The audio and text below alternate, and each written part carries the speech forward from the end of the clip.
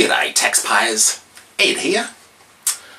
In this tax tip video, I am going to give you a tax tip on how employees using their car for work purposes can legally double dip in regards to their car expenses that are reimbursed by their employer. And this is how it works. Let's pretend that Jack is a sales representative and he uses his car to visit business clients. Now let's say Jack has kept a logbook during the year which shows that his car is being used 60% of the time for business purposes.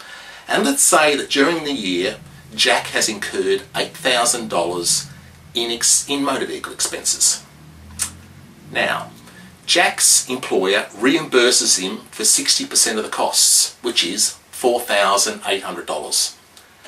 Now, Jack can double dip and claim a tax deduction of $3,850 in his personal tax return.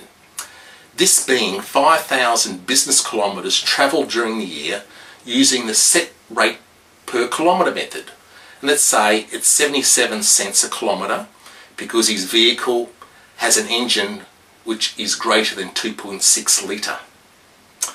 Now, top marginal rate of tax of say 47%, this would be a tax saving of $1,809 to Jack.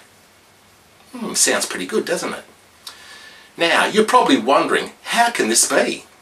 Well, this is a very unusual situation as Section 51AH of the Income Tax Assessment Act of 1936 prevents a deduction being claimed for reimbursed expenses. And that sounds logical, doesn't it? However, in this case, an extra deduction is possible under subdivision 28C of the Income Tax Assessment Act of 1997 using the set rate per kilometre method of deduction. Um, and under these provisions, it's not an actual loss or outgoing incurred by the taxpayer, but rather it is deemed to be a car expense deduction.